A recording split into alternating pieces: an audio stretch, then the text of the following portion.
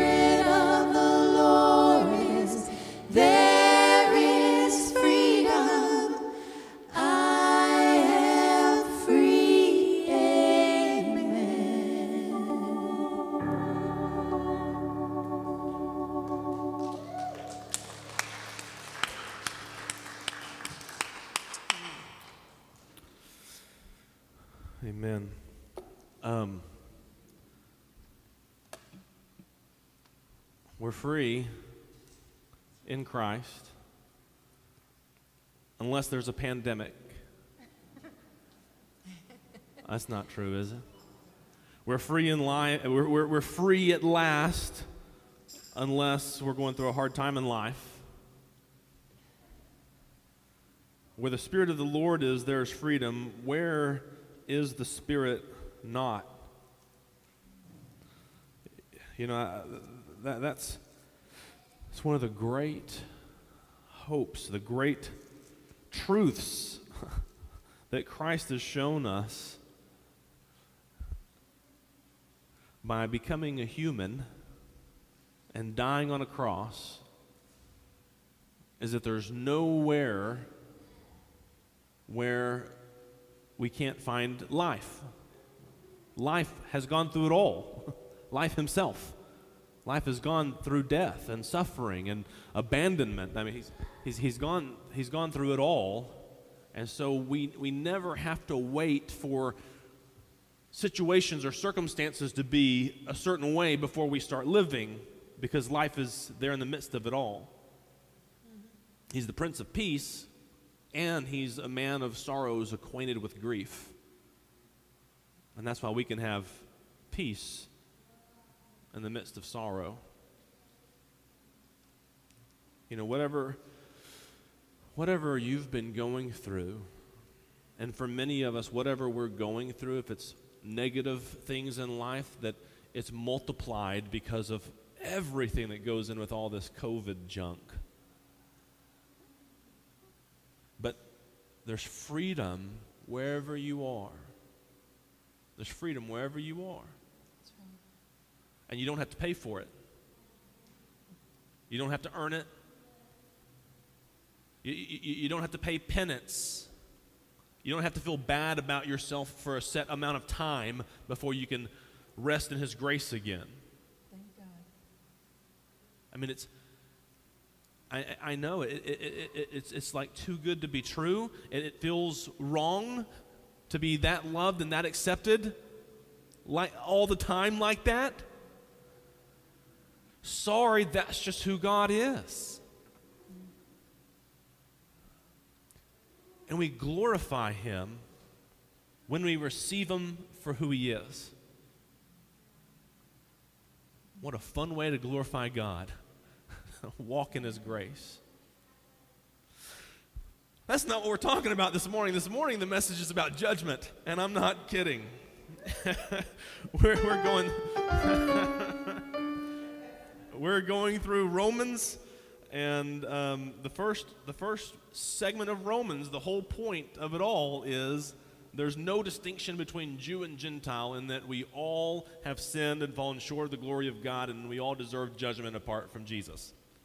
And that's where we are. We're in Romans chapter 2, and we're going to be there until 320, and then we'll, maybe we'll turn a corner that, that then, then, you know, from 320 to 6, chapter 6 is, is, is there's no distinction between Jew and Gentile, and that justification comes through Christ. And, and so, but, but the judgment we talked about the past couple weeks, the judgment is an important part of the message. And, and quite frankly, it's a message of, of, of hope when we realize there's nothing we can do to dodge the judgment. That's a message of hope because that means you don't have to do it. It's been done for us. Jesus has done it.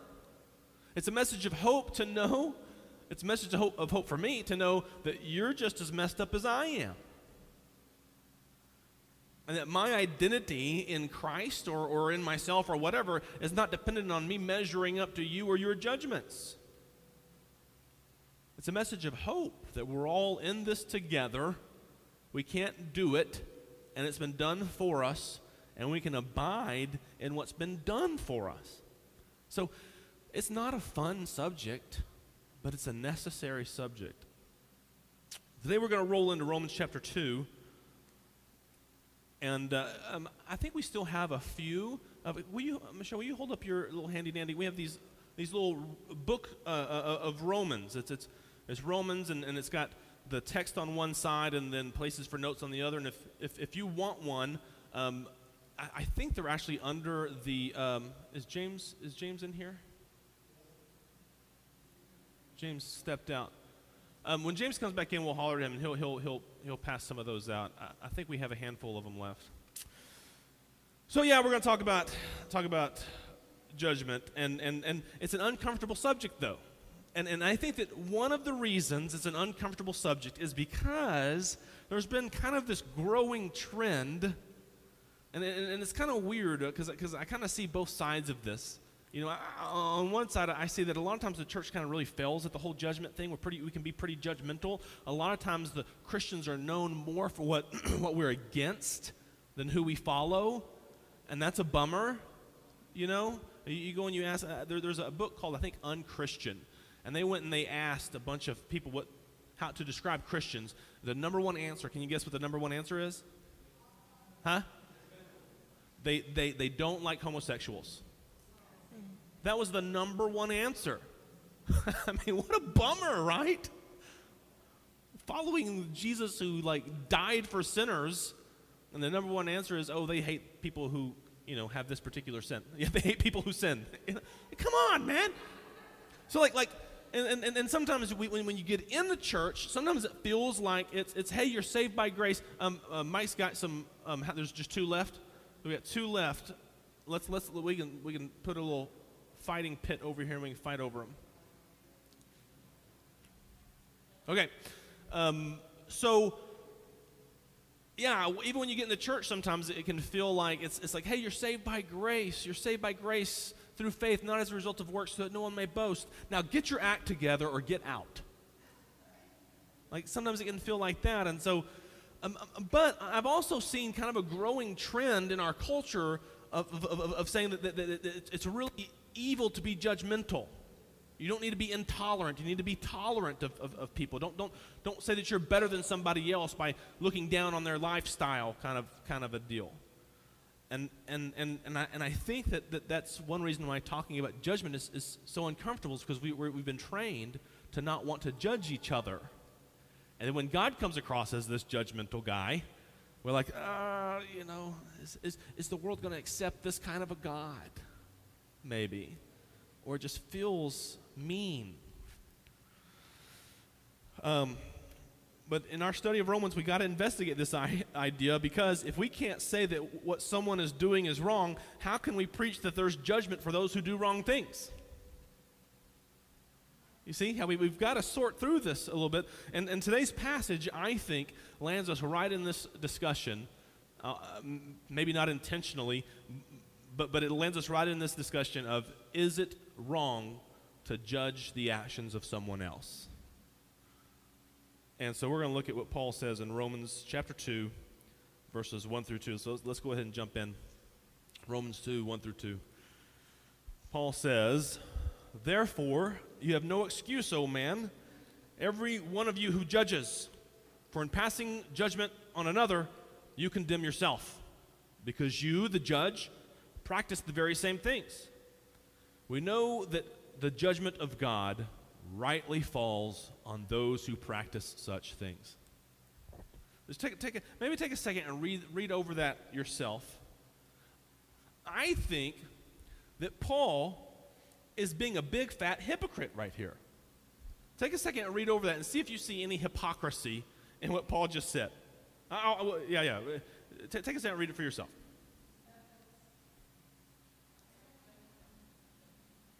Judging them for judging. How dare you judge people, you horrible judgers? You see that? So Paul says that judging others is bad because the judgers are usually ones doing the same things, if not things just as bad. That's a good point. But then he makes a statement that we, we all know that God judges people who do the sort of things that we're talking about. God judges people for the things that we might judge others for and, and that others might judge us for. So we shouldn't judge others because we probably do the same sort of thing, at least other things that are worthy to be judged. And we all know that God's judgment rightly falls on pe- people who do such things. So Paul's judging the judger for judging. Say that five times fast. So he says we shouldn't judge. It's bad to judge. Which is judging judges for judging. Then he invites us all into his judging of everybody when he says, And we all know that the judgment of God rightly falls on those people. right? So he judges the judger, then invites us all to judge everybody. Why he says, Don't judge. Now, I- now to, be, to, be, to be fair, to be fair, at least he's consistent. You know, maybe, maybe, maybe he's, he's, he's literally saying uh, that, that, that in judging the judges, he condemns himself because he practices the very same thing. Right? We all know we practice the very same thing. So if he's judging the judges for judging, then he's practicing the same things and so condemns himself for judging the judges. Are you with me?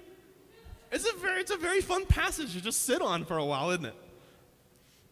Let's push pause on our discussion of Paul's judgmental judging of the judging judges and agree together that it's a good thing that our salvation is not based on the hypocritical judgments of man, but upon the grace of God. Whew. No matter what else we walk away with this morning, let's hold on to that. But I want to look, I want to I want to dive into this idea. Is it okay to judge each other? Is it okay to look at something in the life of another person and say, that's wrong? You shouldn't do that. Well, Jesus said something a lot like this in, in Matthew chapter 7, verses 1 through 6. Go ahead. Jesus says this Judge not, that you be not judged. For with the judgment you pronounce, you will be judged, and with the measure you use, it will be measured to you. Why do you see the speck that's in your brother's eye, but don't notice the log that's in your own eye? That's funny. Isn't it fun that Jesus is funny sometimes? I mean, he's serious when he needs to be serious. And, and you don't have to laugh and be funny to be a part of Jesus' team. But it's a pretty funny picture of someone with a log sticking out of their own eye, trying to get a speck out of a brother's eye, beating them up with the log out of their own eye. I mean, this is Three Stooges 101 right here.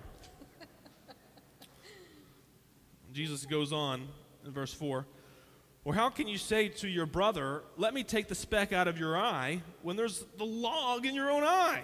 You hypocrite. First take the log out of your own eye, and then you will see clearly to take the speck out of your brother's eye. Verse 6 Do not give dogs what is holy, and do not throw your pearls before pigs, lest they trample them underfoot and turn to attack you. So, from the first part of what Jesus says here, it seems that Paul is like pretty in line with him, right? If you judge others, you might just be condemning yourself because you're very likely doing something that's just as bad, if not worse, than the person you're judging. So your judging kind of condemns you for judging. They might have a speck in their eye, but you might have a log in your own eye that you can't see. The measure that you use to measure others will be used to measure you. It's, it's very similar to what Paul says. Uh, but then Jesus says, verse 6 here, which is kind of weird, right? Don't give dogs what is holy. Do not throw your pearls before pigs, lest they trample them underfoot and turn to attack you. Do you know what that means? Nobody does. Nobody does. Commentary, commentary, commentators, commentariers, um, those are normal dogs. They're commentariers. Um, nobody? Commentar- Commentators, commentators, and those are normal, you know, potatoes. So, sorry. French fries, commentators they um, um, will all argue about what this actually means, and there's not there's not like this clear consensus. And I think we need to be aware that a lot of times when there's no clear consensus in Scripture, that, that, that, that, maybe there's there's uh, some mystery in there. We need to be humble about approaching those passages, you know, and and, and, and, and, and maybe receive that there may be more than one thing that that means. But but but he, here's at least one thing I believe we can take from this passage. Jesus expects us to know who the dogs and the pigs are.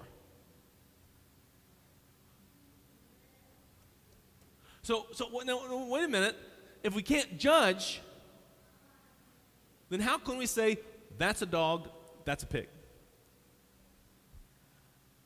There's got to be some kind of judging going on, some kind of discernment going on here, and even what Jesus is calling us to. So Jesus says, Judge not that you be not judged, and look out for those dogs and pigs. That's the same sort of difficulty we just found in Paul when he said, Don't judge people. And remember that everyone who practices these sorts of things rightly deserve God's judgment. he judged the judges and everyone else who does bad things as he told us not to judge. So, what do we do with all this? Well, there's a reason why we have a whole Bible and not just a few passages taken out of context scattered around. Let's look, let's look at what it says in James 5.19. It says, I don't have this on the slide, you just have to, to listen to me. My brothers and sisters, if anyone among you wanders from the truth and someone brings him back, let him know that whoever brings back a sinner from his wandering will save his soul from death and will cover a multitude of sins. I mean, doesn't that sound like we're supposed to pursue those among us who begin to wander from the truth? And how can we know if someone is wandering from the truth if it's wrong to look at their lives and say, hey, what they're doing is wrong? They're wandering from the truth.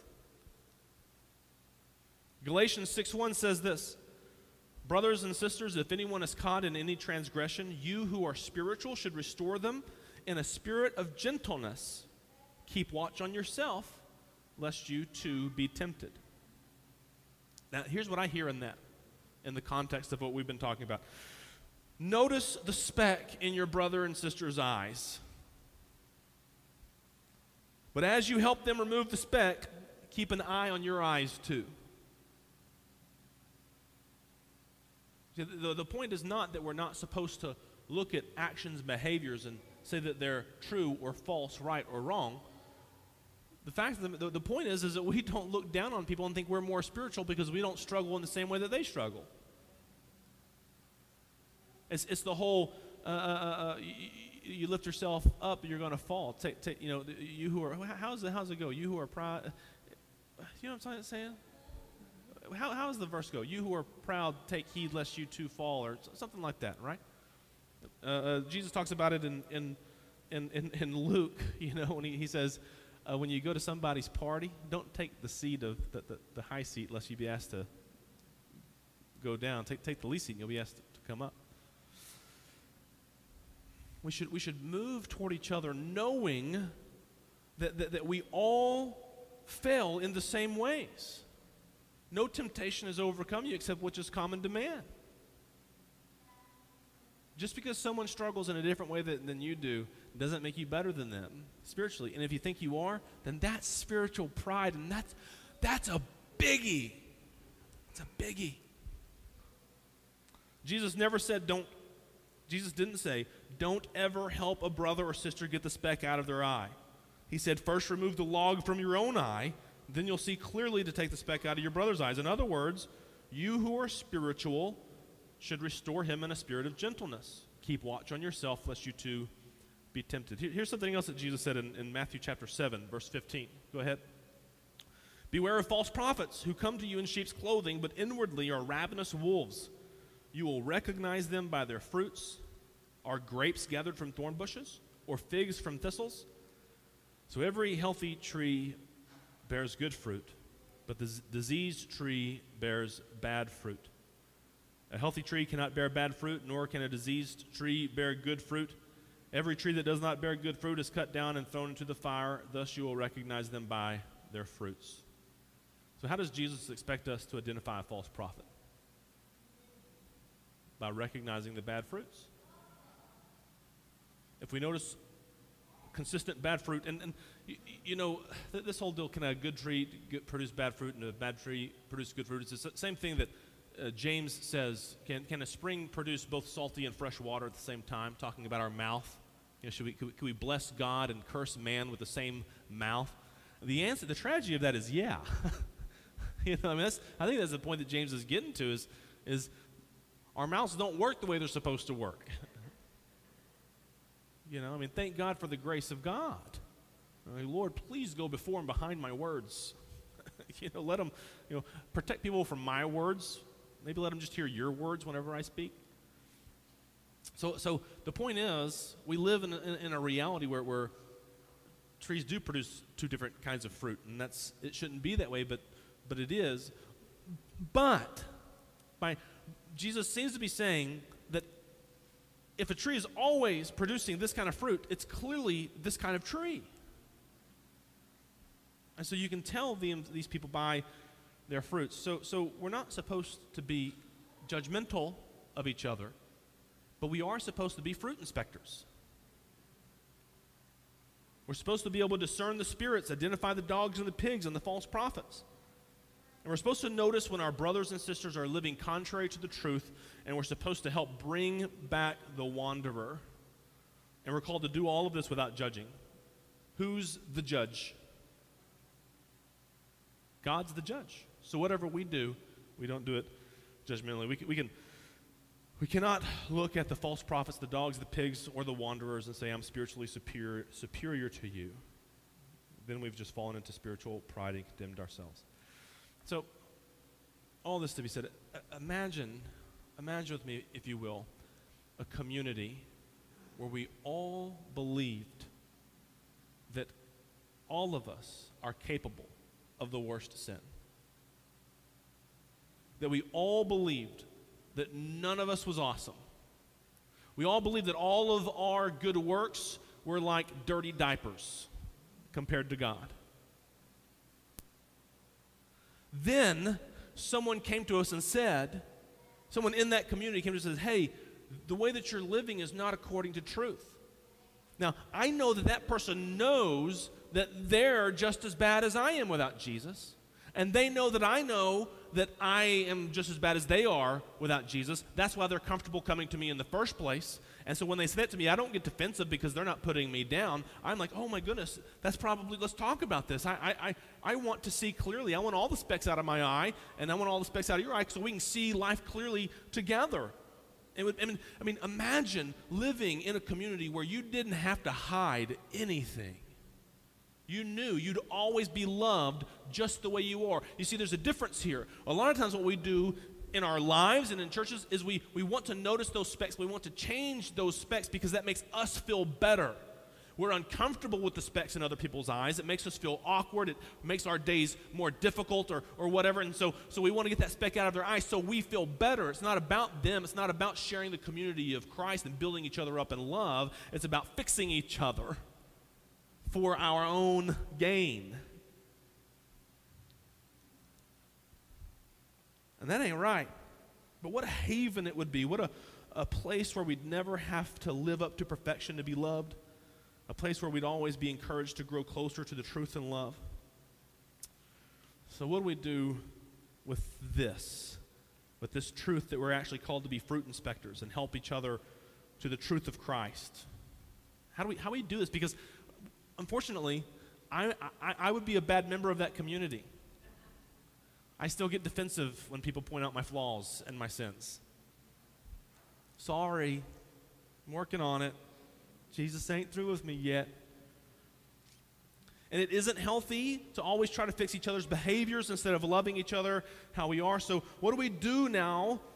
Now that we know that the point isn't that we never judge actions, the point is we never stand in judgment of others because we're all in the same boat. It isn't really healthy to live always trying to fix each other. What do we do? So, you know, I, I thought we'd look at um, Scripture. So we're going to go through some of the Psalms really quickly and hit some highlights. Maybe just, just, just look at the nuances of, of, of, of what it might look like and not look like to, to, to, to do this with each other, to help each other with the specks and the logs. Okay? So let's, this is kind of an extended invitation time. If you're looking for the so what do I do with this message, this is that part. Okay, so let's go ahead to, to our first our first proverb. Proverbs 9 8. Don't rebuke a mocker or he will hate you. Rebuke the wise and he will love you. It's not always safe to point out the speck in the eye of a fellow believer, even when you have a close eye on your eyes. If you move in love towards someone who won't listen, you may just be casting pearls before swine and what is holy before the dogs. It may not be the right time for speck pointing. If someone points out the speck in your own eye, while you're staring at the log in their own eye, the wise person may still prayerfully investigate the allegation because even a moron can be right. My old pastor used to say, Nobody is smart enough to be all wrong. We have to walk in intimacy with the Spirit and in relationship with each other and manage the mess of our lives together. Sometimes we'll get defensive, sometimes we'll be overly judgmental, but even in that mess, we can move toward Christ together in love because our failures together only highlight what we already know about each other. We all totally need Him together. Next proverb, Proverbs 26 17. Like one who grabs a stray dog by the ears is someone who rushes into a quarrel not their own. Isn't that a fun one? It's not always safe to point out the speck in the eye of a fellow believer, even when you have a close eye on your eyes. Sometimes it's just none of your business. We might be grabbing, grabbing a tiger by the tail for no good reasons. It's not our job to go around fixing people's behaviors. We have to keep an eye on our motivation. If we want to fix others so we can feel okay, that's called enmeshment. And it's not love. It may not be the right time for speck pointing. We have to walk in intimacy with the Spirit and in re- relationship with each other and manage the mess of our lives together. Sometimes we'll get defensive, sometimes we'll be overly judgmental, but even in that mess, we can move toward Christ together in love because our failures together only highlight what we already know about each other. We all need Him together. Proverbs 27 5. Better is an open rebuke than hidden love. It's not loving, it's not always loving to refuse to rebuke. Hidden love is a false love, and an open rebuke might be love in action. Sometimes we dodge the tension in relationship because we think it's more loving to not speak up or it's just easier. But when you dodge the tension, you dodge the real relationship and you just have this superficial relationship on the outskirts of tension. We have to walk in intimacy with the Spirit and in relationship with each other and manage the mess of our lives together. Sometimes we'll get defensive, sometimes we'll be overly judgmental, but even in that, we can move toward Christ together in love because our failures together only highlight what we already know about each other as we all need Him together. Proverbs 27 9. Perfume and incense bring joy to the heart, and the pleasantness of a friend springs from their heartfelt advice. Heartfelt advice from a friend can be some of the most pleasant aromas we encounter in life.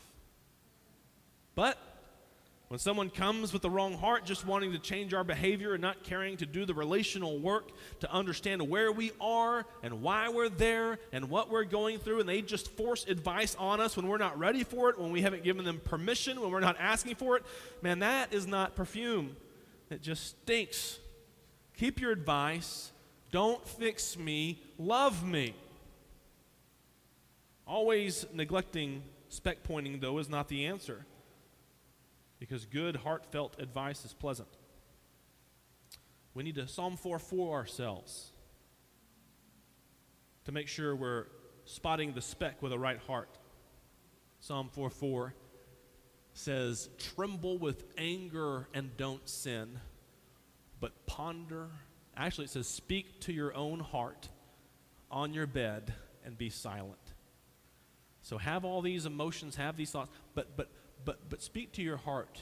Get alone with yourself. Why do you feel this way? Is this feeling true? If it is a true feeling, what's a healthy way to handle it? Psalm 4 for yourself means take inventory of your emotional, mental, spiritual state.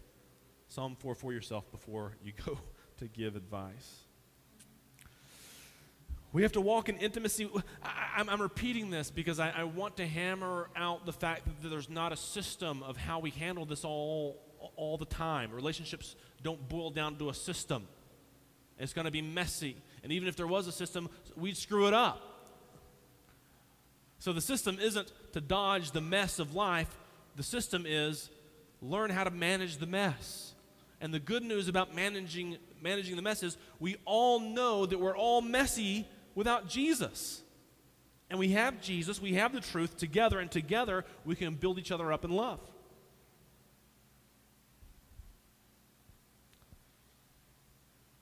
Last one, I think. Proverbs 27 17. As iron sharpens iron, so one person sharpens another. We can walk in intimacy with the Spirit and in relationship with each other and manage the mess of our lives together and get sharper. Sometimes we'll get defensive, sometimes we'll be overly judgmental. There's a lot of friction that takes place when iron sharpens iron, a lot of tension. But even in that, we can move toward Christ together in love because our failures together only highlight what we already know about each other. We all need Him together. And as we sharpen each other through that tension, we become better tools. If people says you're, someone said, "Hey man, you're a tool," be like, "Thanks, man. I've been sharpening iron with my brothers and sisters in Christ." Don't say that; you'll get beat up. So let me let me let me close with this. Has this been? I hope this has been eye-opening. I, I, I know it's. I'm not comfortable with this message because I, I like to come and and, and, and, and speak a, a, a very clear truth, and then and then and then leave with a very clear action step. Here's the truth. It's non-negotiable. Negotiable. Here's here's what you do with it. But but but in this, it's it's it's it's it's it's, it's relational. It's, it's, you got to walk in the Spirit. It's, it's, it's not always. But one thing we do know is, is that bad things are bad and good things are good. And, and God is the one who defines what is good and bad. And it's not bad to look at things in each other's lives and say, hey, I think that's bad according to God's word. And, and especially, if, and, well, not especially, if we do that with a, with a spirit of humility and love, Psalm 4 ourselves through all of that. But exactly how that works in our lives is not going to be a straight line system because you're going to get it wrong sometimes, and I'm going to get it wrong sometimes. But, but I want to close with this with all this stuff about looking at each other's lives and identifying good things and bad things and whatnot. I, hear this our behaviors are symptoms, not the disease. If someone is struggling with a sin, that sin is not the problem. The problem is whatever emotional, mental, spiritual, relational need that that sin is meeting and what wound or what lie that person has received in the past to think that that's the way to meet that need. You know, there was a, I'm going to totally mess this up, but there was a, a, a, a, a not an example, but a scientific experiment done with, with rats. And I'm going to mess this up, but I think we'll get the point across. They put rats in the cage, and in, the cages in, in, the water, they put heroin in there. And so the rats went, in, and, and, but then they put another, another water thing in there that was, that was drug free. And the, the rat went straight for the drugs. But then they put the rat in like this rat heaven with wheels to play on, and, and then other rats, and, and, and it was like eh, the, the, all, everything that, that the rat could want, including community. Same water bottles. They went for the drugs. Then they stopped and left the drugs alone and just enjoyed the community that they were designed to enjoy. If we just change the behaviors of people around us, we're doing nothing. If we create an environment where we can live for how we've, we've been created to live, man, it would be a force to be reckoned with in the most loving and humble and transforming ways. We can be a community that regulates behaviors and be super unhealthy. We can be a community of messy people with lingering bad behaviors who are growing in wholeness toward the true truth together and be super healthy. And I'd rather be a part of the messy people truly seeking wholeness than a group of shallow moralistic people seeking to puff up their spiritual pride through behavior modification of others. And to the best of my understanding, Jesus is with the messy people too. Hello, Pharisees. So, if you want to come get point out a speck in my eye, might I suggest the following approach? Instead of saying, Don't you know that's bad, Nick? Perhaps begin by praying for me. Maybe even fasting for me. And really seeking to understand me on a relational level. Not just understanding what I do, but me. And then, as we develop our relationship and you earn trust, help me understand what role that bad behavior is playing in my life. Not so the behavior changes, but so we both grow in our knowledge and love of each other and of Christ. So don't judge the judgers for judging, but feel free to tell them they shouldn't judge. Let's pray. Father, we love you so much. And I thank you that you practiced this. that even though you were equal with God, Lord Jesus, you were God, but you didn't consider equality with God as something that you could grab for yourself, but you humbled yourself. You poured yourself out, became a, a human and, and, and, and, and, and, a servant, even to the point of death on a cross. That in, in, instead of pointing out how horrible people were and just fixing their behaviors, you taught us what our lives were really about and invited us not out of a set of behaviors, but you invited us out of death into life, into our true selves. The true selves that you created, that only you can recreate in us. When you said, if you seek to save your life, you'll lose it, but if you lose your life for my sake, you'll save it. You wanted us to save our lives by losing the selves that we would claim for ourselves, to let go and have you. So, as in all things, Lord Jesus, you are our forerunner. You are preeminent in all things. You've shown us how to love those who are doing wrong not by fixing them, but for dying for them, stepping into their shoes. So teach us to love like that. Teach us to love ourselves like that, we might receive your love for us. Teach us to love each other like that, that we might grow in your love together. And teach us to love the world like that, that your name may be glorified among the nations. We pray this for your glory and for our joy. In Jesus' name, amen. Amen.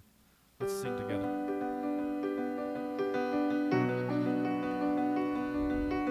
I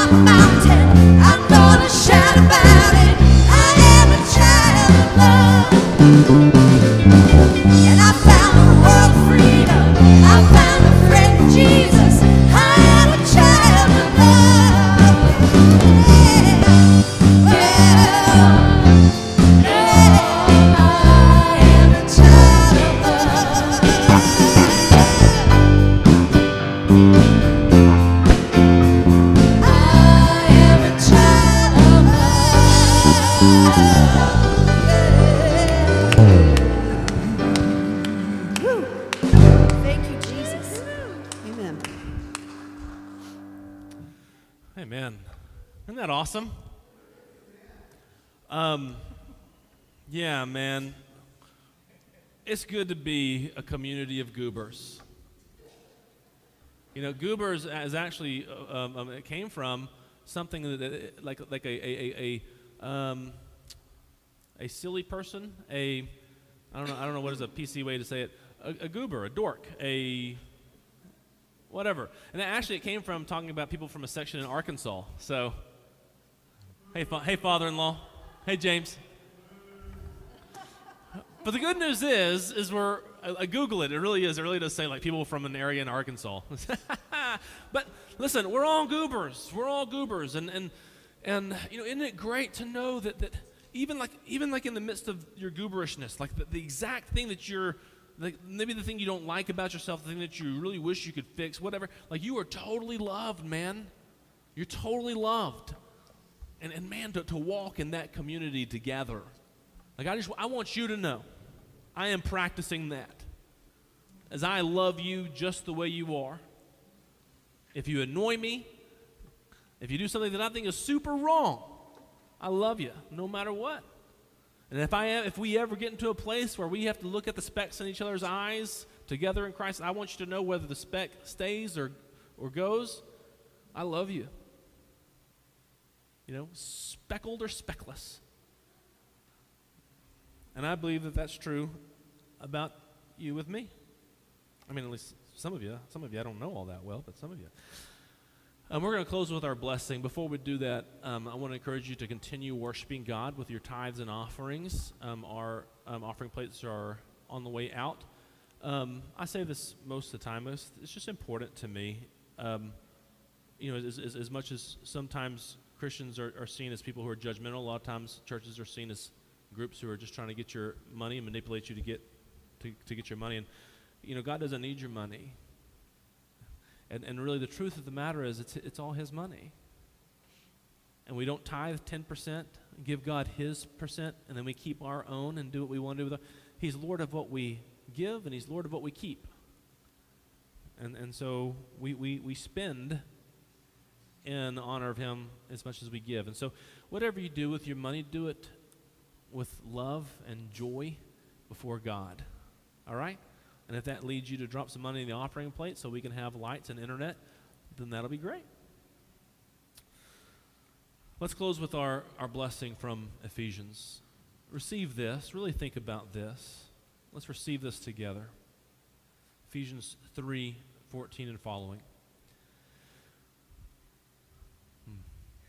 For this reason, I bow my knees before the Father, from whom every family in heaven and on earth is named that according to the riches of his glory, he may grant you to be strengthened with power through his Spirit towards your inner being, so that Christ may dwell in your hearts through faith, that you, being rooted and grounded in love, may have strength to comprehend with all the saints what is the breadth and length and height and depth, and to know the love of Christ that surpasses knowledge that you may be filled with all the fullness of God. Now, to him who is able to do far more abundantly than all that we could ask or think, according to the power at work within us, to him be glory in the church and in Christ Jesus throughout all generations, forever and ever. Amen. Amen. You're dismissed.